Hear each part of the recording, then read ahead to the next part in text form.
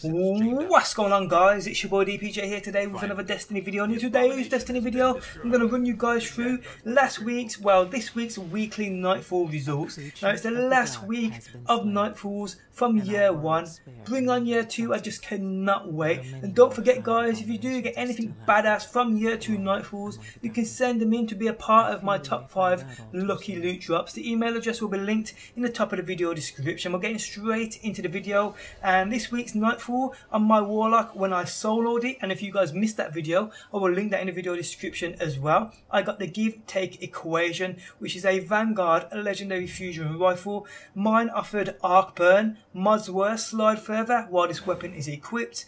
And this weapon's magazine will be refilled whenever a super is cast. Moving on to my Titan, and I got a heavy legendary engram. Cheesy got the Plan C exotic fusion rifle.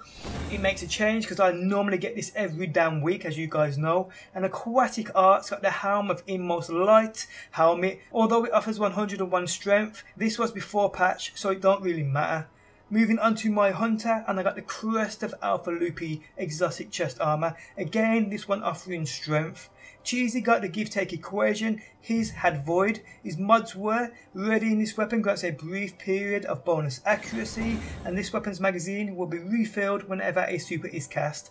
Aquatic Arts got a legendary engram, but guys that is it, that's what I got for my Nightfall, the last Nightfall of year 1. Bring on year 2, I just cannot wait. Guys, tell me down below what you got from the Nightfall this week. Hope you enjoyed the video, do drop a like, I do appreciate the support, and I'll catch you on the next one. Peace out until next time. Peace! Always in the wrong, knowing where we stand. But you and I will carry on. We never get it right.